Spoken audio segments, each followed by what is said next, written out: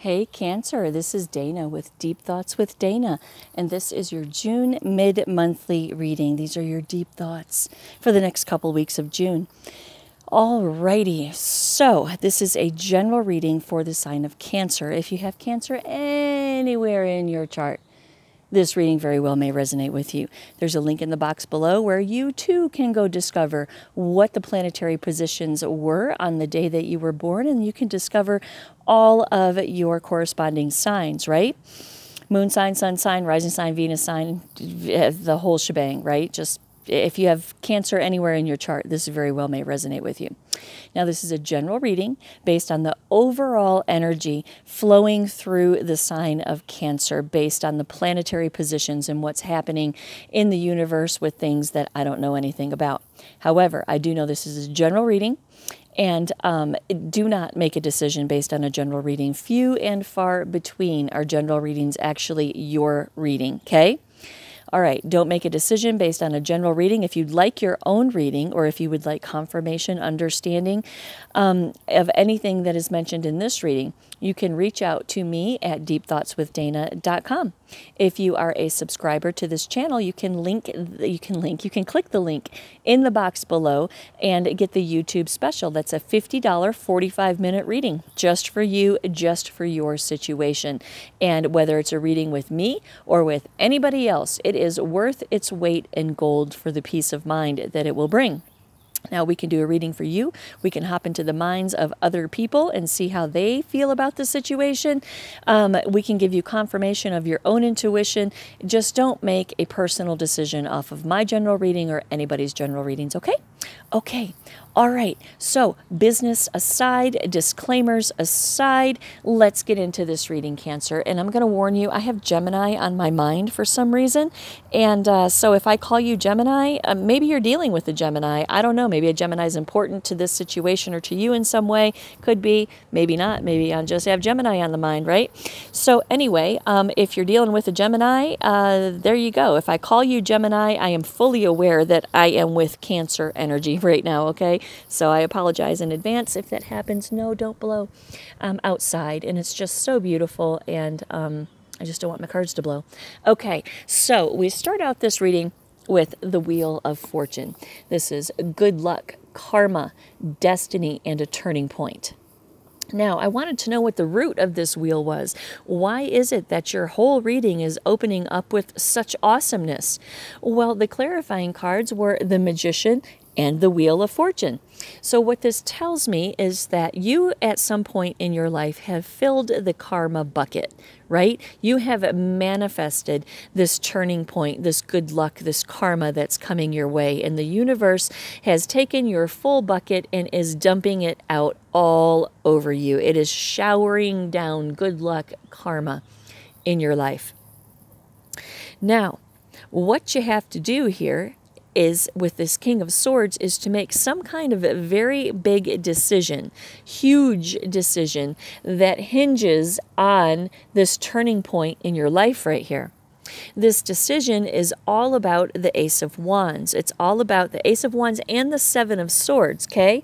It's about it's about an inspired it's about taking inspired action, having an inspired new beginning, okay? The Ace of Cups says that this is all about your feelings. It's all about your feels. And this decision is going to create a tower moment in your life. Whether this tower moment is a revelation and an awakening, or if it's upheaval, chaos, sudden change, or if it's all of the above, this decision is going to create a tower moment in your life. This decision is the tower moment in your life. What is this decision about? This decision is about the 7 of swords, okay? So I'm to I'm to jump forward real quick, okay? So we have the 6 of cups over here, which is the past. Then we have the star card, which is renewal, and we have the 2 of cups and the Prince of Cups in the center of your reading. So I'm going to go out on a limb here, Cancer, and say that this Seven of Swords, which is the crux of this decision for the King of Swords, is about betrayal, deception, and just general shady behavior that was in a relationship from your past. And what you have to do now is decide if you are going to break free from the mental challenges of what happened in the past, because what's on the table is a new beginning and a new journey. That's what's on the table a new beginning and a new journey the Queen of Pentacles, this new beginning, this new journey, this deceit, this deception, deception, this shady behavior from the past that you're trying to decide if you can break free from in order to have an inspired new beginning and and and let this this good luck and this good karma overflow into your life is related to the Queen of Pentacles. This Queen of no, no, no, no, no, no. Sorry, Cancer. Sorry. It's just so beautiful outside today, right? I just want to be outside. Hold on. Hold on. Let me get myself back together here. Okay. So, this Queen of Pentacles, this could be either a person in your life because the King of Pentacles is down here again as well.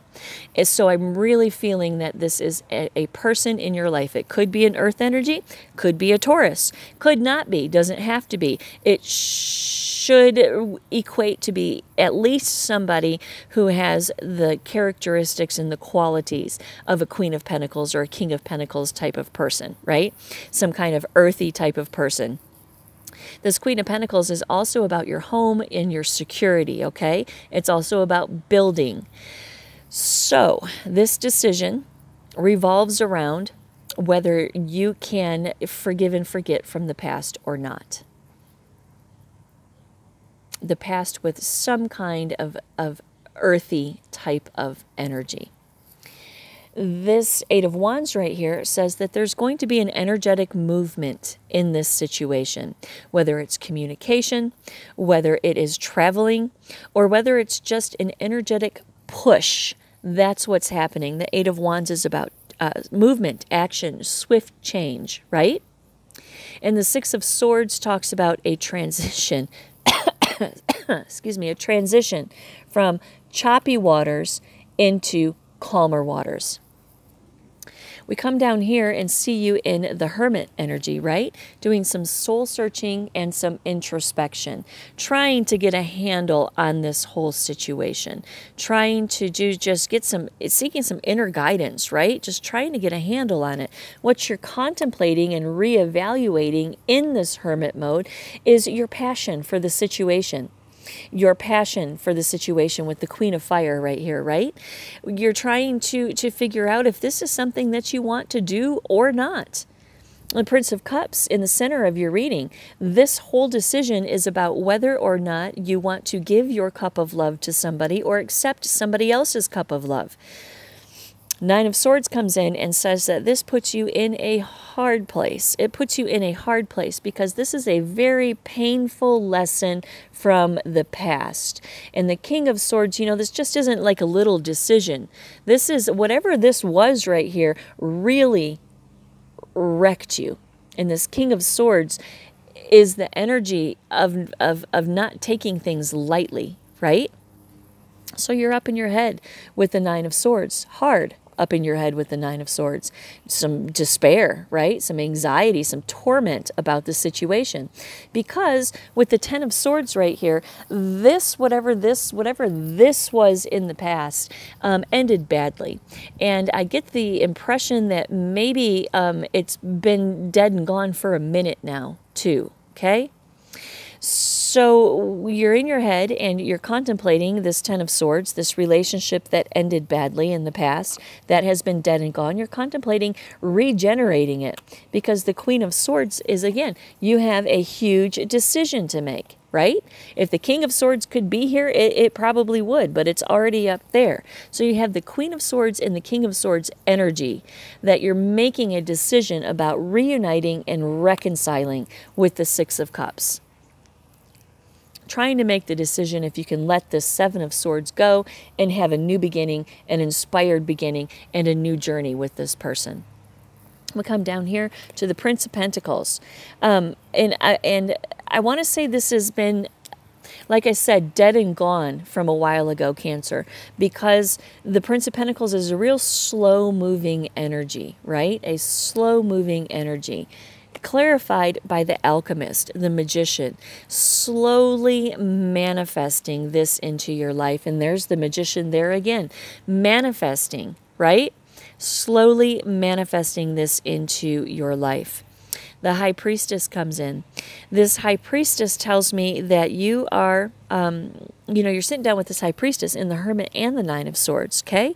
This is soul searching, checking your subconscious mind, your intuition, going over and over and over again about, um, if this is your purpose in life right now, if this is real, if this is something that you should go forward with.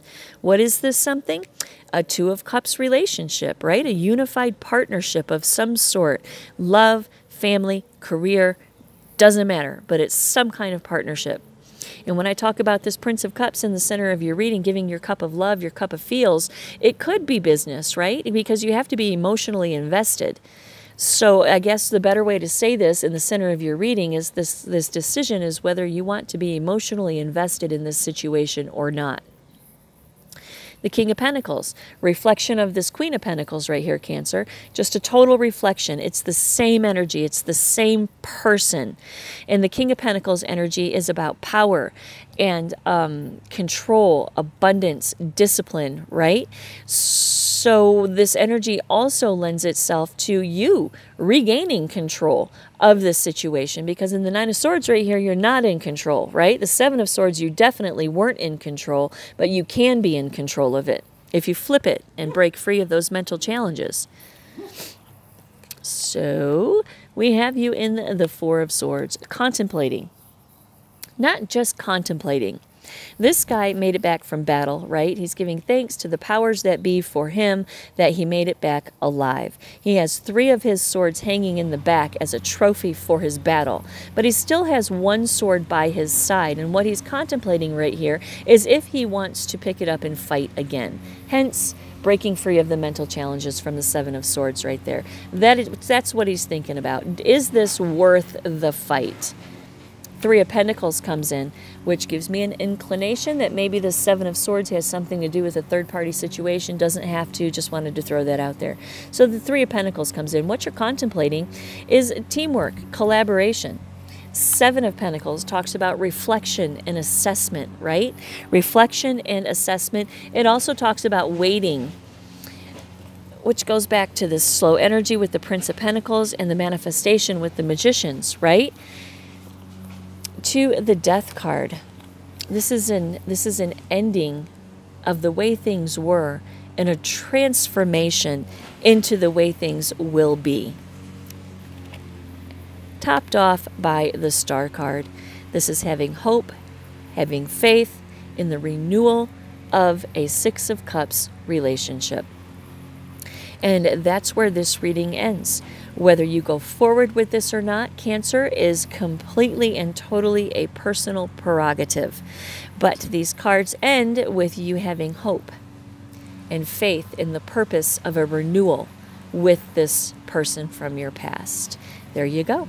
If you want a personal reading, you can hit me up at deepthoughtswithdana.com. If you subscribe to my channel, click the link below, get 50% off. Like this video if you liked it, share it if you think it will help somebody, and drop a comment if you'd like to. I read all of the comments and I do respond to them. It sometimes it takes me a week or two to get around to it, but I do do it and I thoroughly enjoy um, hearing what you guys have to say. But no negativity. If there's negativity in there, you're bashing other signs or doing any kind of stupid thing, I'll just delete it. So just don't even bother to do that. But if you want to leave a positive comment about how this situation um, relates to your life, I would love to hear about it. All right, Cancer, namaste.